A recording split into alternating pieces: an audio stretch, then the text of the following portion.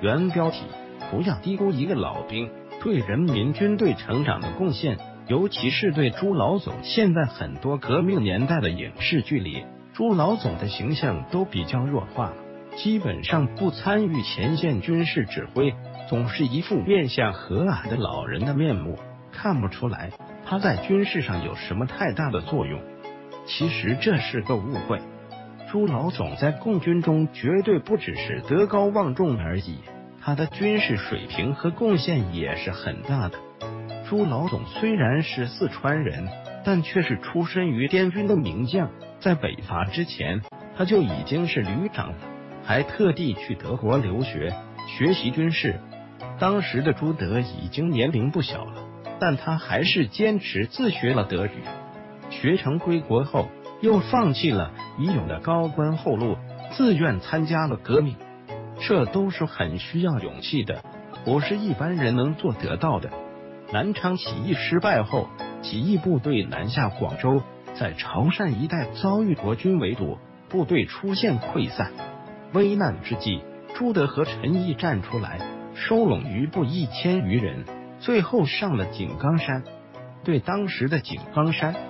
来说，这不仅是一支生力军，更重要的是，这是一支正规军出身的部队，战斗经验和训练水平远非秋收起义部队可比。更重要的是，在当时井冈山的处境下，朱德的游击战经验是井冈山比较需要的。虽然毛主席天纵神武，但毕竟当时还是缺乏军事斗争经验，战略上成长比较快。但是战术上还是需要朱德的经验来补充，否则只有战略没有战术，战略计划也是难以实现的。这也就是当时所说的“朱毛不能分家，分家了就要失败”。当时井冈山虽然也有一批黄埔军校毕业的中下级干部，也有许多人虽然并不是毕业于黄埔军校，后来也同样也成长为我军高级将领。但是他们无论在北伐时期还是上井冈山之后，级别都还比较低，基本上都是营连排长，战斗经验仍然是比较缺乏的。尤其是规模稍微大一点的战斗，他们都还不具备指挥能力。所以在井冈山时期，大体上形成的格局就是毛主席负责战略，但在执行的时候。需要依赖于朱德的战斗指挥经验才能实现，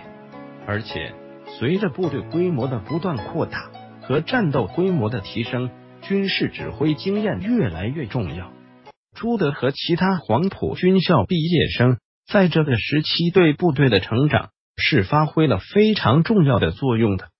这之后，虽然除了抗战初期曾经在前方指挥过一段时间外，朱老总离开了一线指挥，但一直是在后方的。